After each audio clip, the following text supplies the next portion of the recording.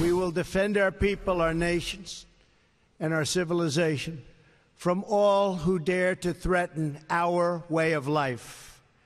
This includes the regime of North Korea, which has once again shown its utter contempt for its neighbors and for the entire world community.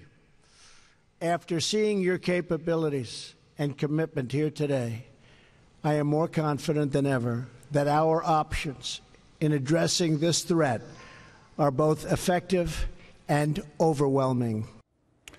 President Trump declaring that our military is more than capable of using military options against North Korea if they need to. Now, his comments coming just before tonight's declaration from North Korea's leader, Kim Jong un, who's now vowing that he'll complete the nuclear weapons program despite these sanctions. And this on the heels of North Korea's most recent missile test, which, by the way, flew almost 2,300 miles last night over of Japan.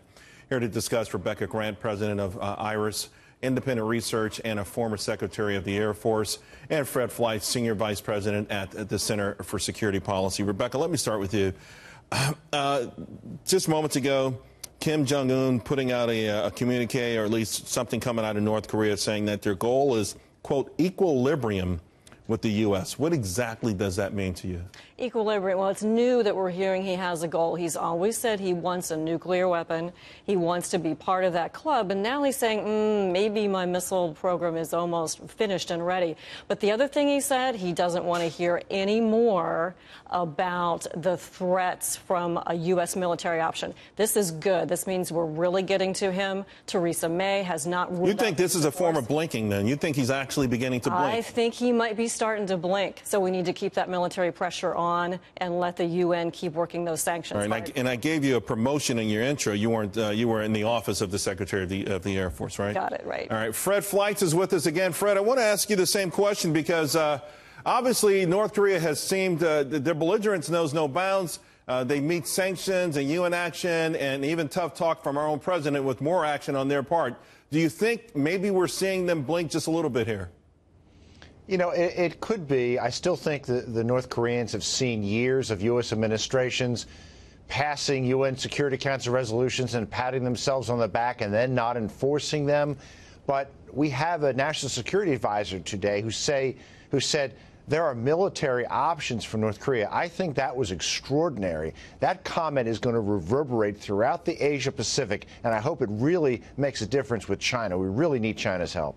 You know, the, here's the thing, though. Um, the last couple of weeks, we've we've read a lot of news out of the military of, of accidents involving training missions and things like that, and it reminds us of just how dilapidated this military is that President Trump inherited. Fred, uh, are we even capable of carrying out any sort of real military action against North Korea with a potential five million man army? I think we're capable of carrying it out, uh, but we have larger threats we're facing from Russia and China. There are readiness issues in every branch of the services. Uh, there has not been sufficient spending on aircraft, uh, or on ships. We know that our missile defense system is in trouble, and our nuclear deterrent. Did you know the average nuclear weapon in our deterrent is 27 years old, and we actually cannibalize old weapons to find parts for some of these weapons. Yeah, yeah. There's a lot of there's a lot we have to do to bring our military back up to up to speed. Rebecca, play it out for us. Uh, President Trump will be at the United Nations on uh, next week. Uh, he's going to call on other nations, and, and I think including South Korea, to also step up the pressure here. How do you see this ending? And I'm impressed with South Korea. They have said, put it on, do the diplomatic options, do the military pressure. I see this ending at the negotiating table. It may take us another couple months. There is, I think, a chance of some limited military. Will we write action. a big check to North Korea directly or indirectly? Well, you've got the point. We're doing sticks now. We haven't even started on the carrots. So I think we'll need some carrots as well in the end. All right.